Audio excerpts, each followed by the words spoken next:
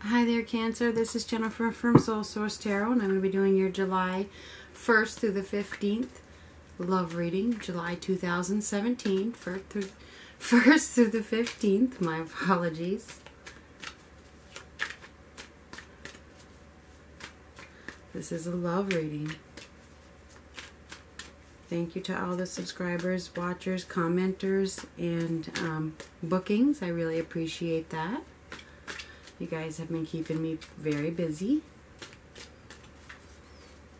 If this doesn't resonate with you, check your rising sign or your moon sign or both of them. This is for Cancer for July 1st through July 15th. What do you have for love for the sign of Cancer?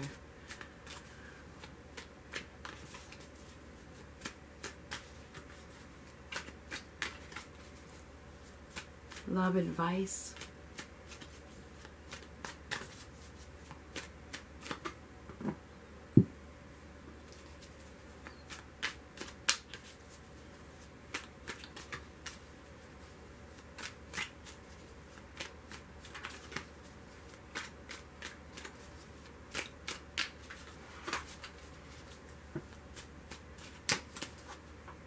Ooh, shakeup on the horizon. As we hear the fireworks. Oh, yes, you are going to have some fireworks. You might even be considering leaving somebody behind or leaving something behind that is affecting your happiness. All right. Um, it could be a fire sign, a Leo, Sagittarius, or Aries. All right. The universe sees what's going on. They're going to help you. They're going to help you take whatever measures are that need to be taken. And, and I think that it involves leaving something behind. Okay. Um, that's what it appears to look like. It's your, you just want to escape from the situation probably with a fire sign. You definitely, this is the first week of July. It looks like there's a breakup the first week of July. I mean, that's what it looks like. I can't, I can't pretend. That's what it looks like. There's a breakup. This is the first of the 15th. This is the first week. There's a split.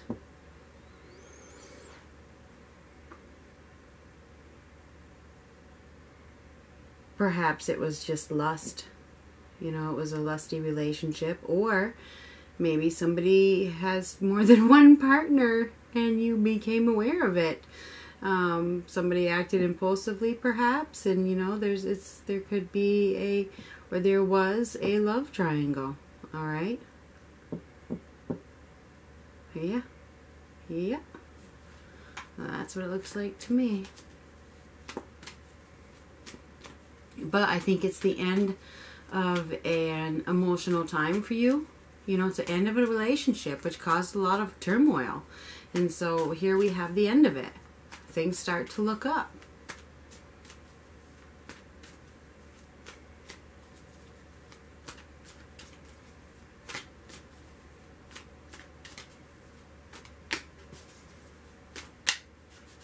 What about the second week? The, so the beginning of July, the very first couple of days, something is going to happen. It's it's a gift from the universe. It's a it's a shock, but it's really a blessing, and it it um, gives you some piece of information probably about this fire sign. Probably you already knew it, but it, maybe it reiterated it, and it forces you to leave the situation. With both of these cards, I mean, it is it's, it's a pretty a pretty big guarantee that you're going to leave something behind. Um, it's probably a fire sign. Leo, Aries, or Sagittarius. Perhaps the whole relationship was just like sexually driven. Perhaps you're gonna this universal um, shock concerns might concern two people. This is a Taurus, Capricorn, or Virgo. Steady, um, practical, responsible.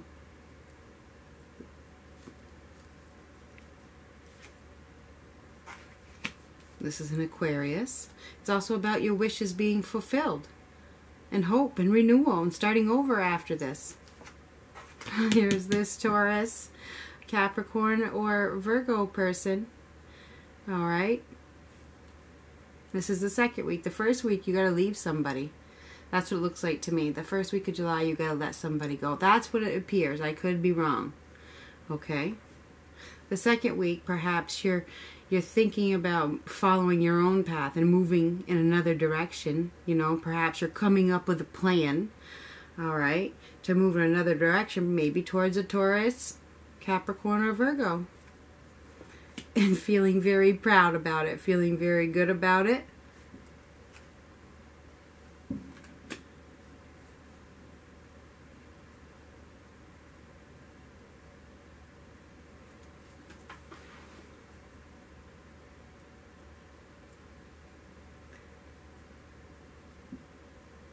This right here, this is a breakthrough a major breakthrough, a major awakening. All right. I think that almost every reading I've done for somebody today has had this card. So it looks like this is a big energy in um, the beginning of the July. Everybody is opening their eyes. Okay? They're opening their eyes and they're waking up. They're waking up. It's crazy. It really is. And they're acting on their feelings, they're acting on their thoughts. That's amazing. This is the first to the 15th love for Cancer. Oh, this is the Earth Mother, probably the same person as this one. Um, she's a very motherly type of person. Um, beautiful. Um, she could be part of your waking up.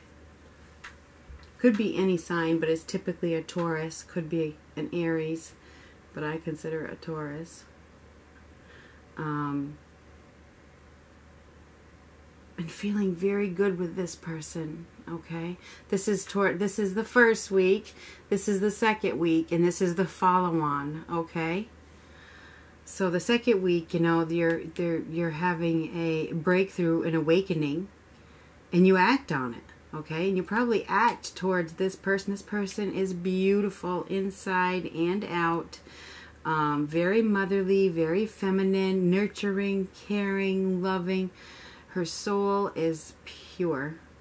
Okay, that's who this person is. Um, up here, you know, with this shock that's going to come in, it really is a blessing.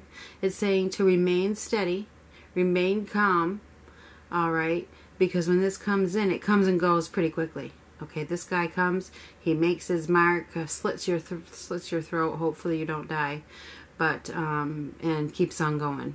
Doesn't look back. So you know, it looks like this dilemma at the beginning of the month that comes in. It comes in and it goes out pretty quickly, and you remain calm and steady during this period of time. All right.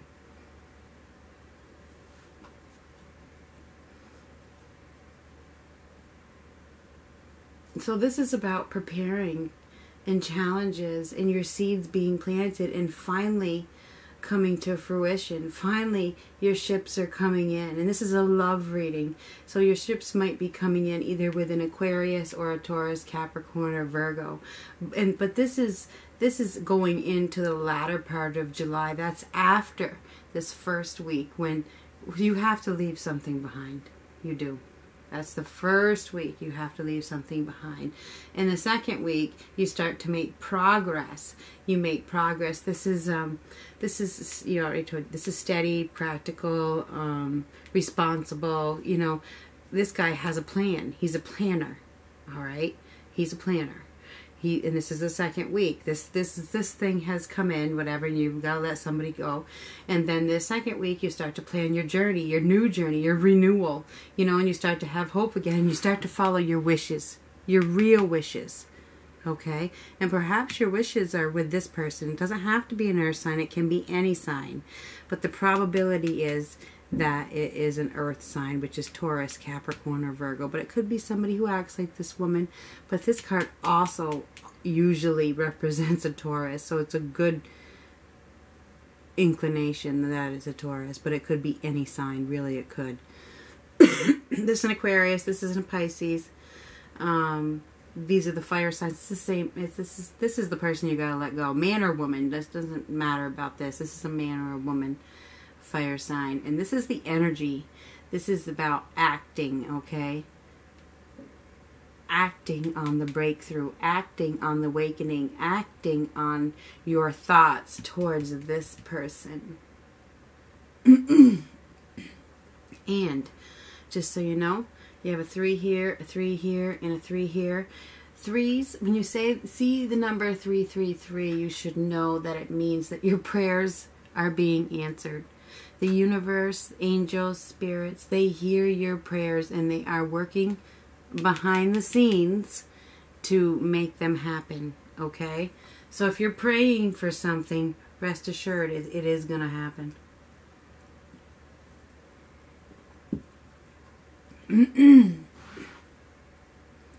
We're looking for love. The first week, it looks like you're going to be getting out of a situation. Perhaps you want to follow your dreams towards another direction, maybe somebody else, but the second week, I think it's just a plan.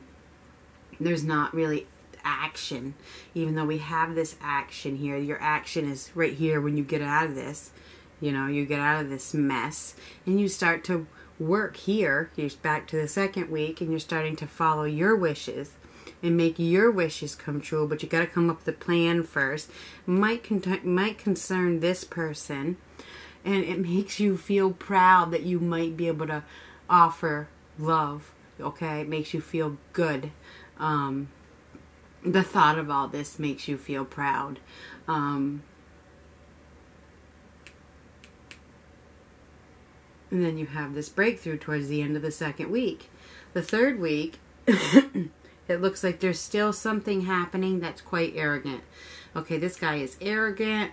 He is um, selfish. Um, it's an air sign. Okay. And they're connected to this walking away and they're connected to this um, your wishes being fulfilled. Perhaps they're blocking you in some way. It's like they want to cut you down. They want to cut you down for some reason. I don't know why.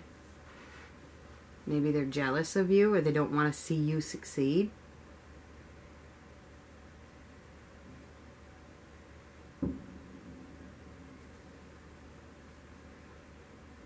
Either way, you've planted the seeds a long time ago. The seeds were planted years ago for this to fall into place. Okay?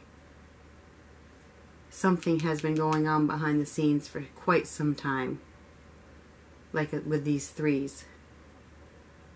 All right, three, three, three.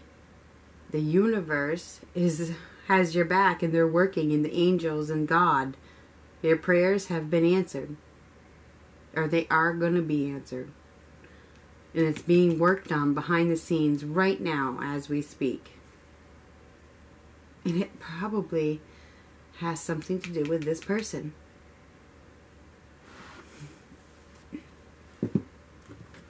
What do you have for love right here with these cards? What can you do? Can you give us some clarification?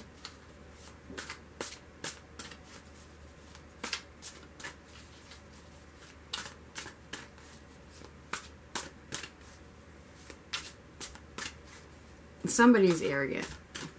This is arrogant.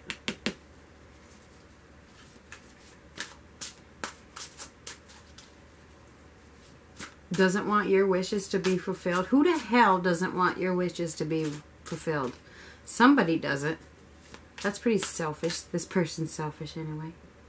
So that makes sense. This is an air sign. Libra, uh, Libra, Gemini, or Aquarius.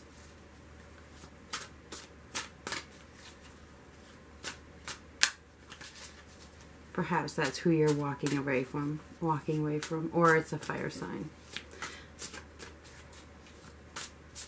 Could, who knows? Hmm.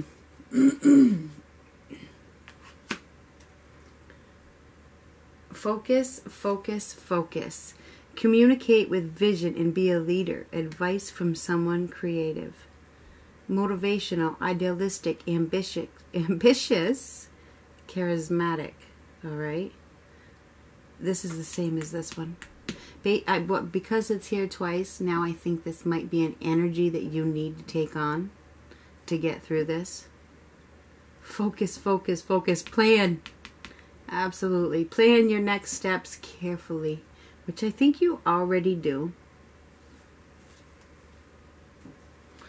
I think you're very worried about this person underneath. You are. And I don't think it's in a bad way. I think you're worried about,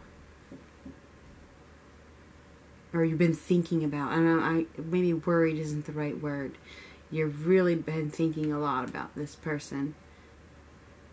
Maybe you're ex- expecting the worst, self fulfilling prophecy, sleepless, sleepless nights. What are you expecting the worst for?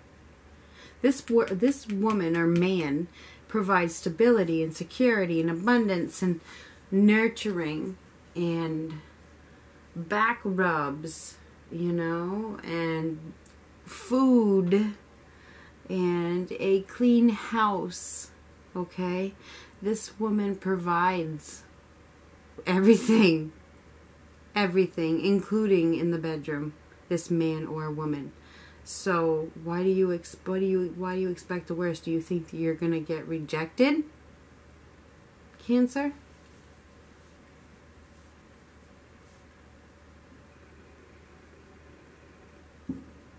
Or do you expect or do you um or do you think that it's not going to work out in the end? Do you think they're going to do something to hurt you?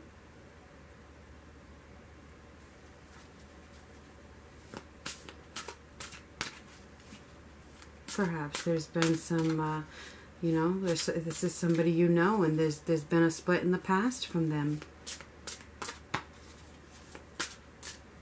and it hurt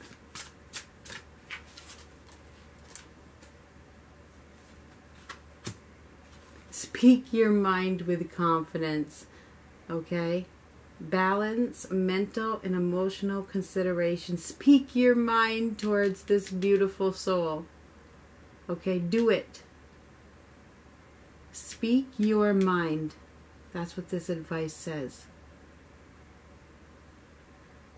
This is this this is the first through the second week of July. July 1st through the 15th for Cancer. This is a love reading. Do you need to speak your mind to somebody?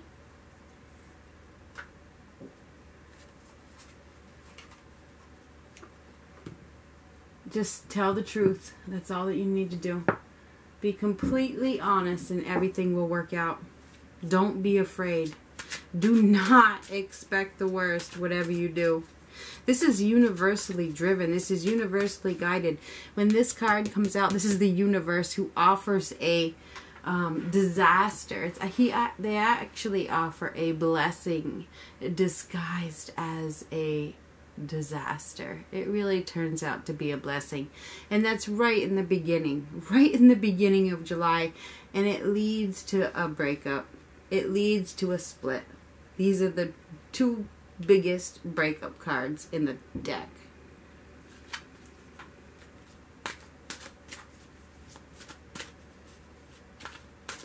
Right together.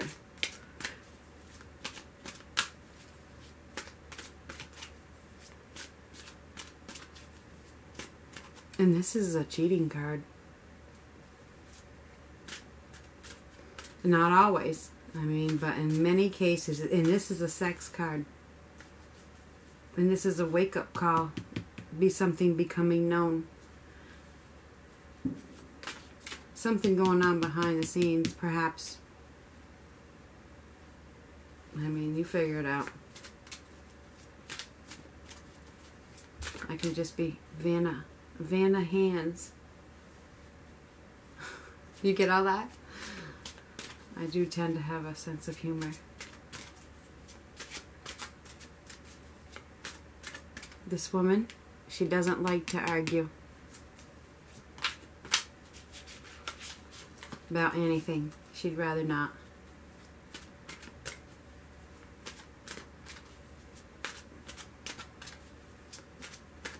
man or woman. Because this reading is for a general audience. Whoever is meant to see it.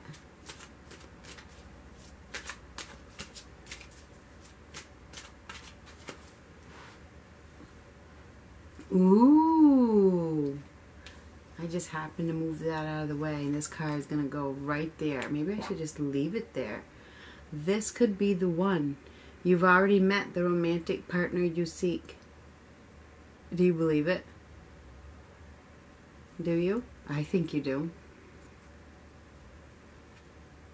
Ooh, this is another good one. Expecting the worst. Do not. This card goes right over this one. This is expecting the worst. Sleepless nights. Okay? Probably with this person. You expect the worst. You shouldn't. You shouldn't. This is saying to live in the now. You are. You're, there, there, there. You attract romantic love by enjoying this moment fully. Live in the now. Okay, remember earlier I said something, maybe there was a relationship in the past, and that's why you're expecting the worst. Mm-mm. Let that go. That's old. That's old. People change. Live in the now.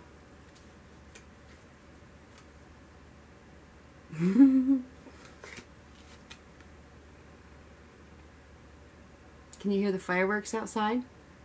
Perfect time to do your reading. I did not plan it that way. Because it's there's fireworks. Big ones. Attraction. This could be the one. Stay optimistic about your love love life. For some reason I can't talk. Positive thinking and faith will bring you romance. This is for you, Cancer.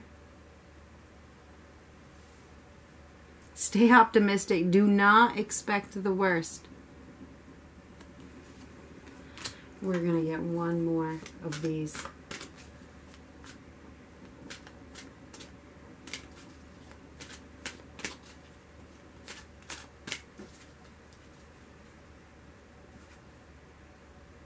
This is it.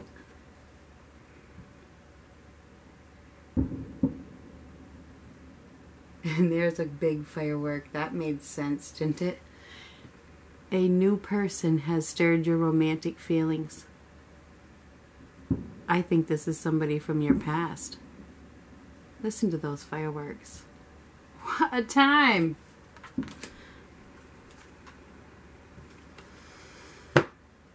And that is what I have for you, Cancer. I'm going to let you go. Listen to them. Big fireworks for you.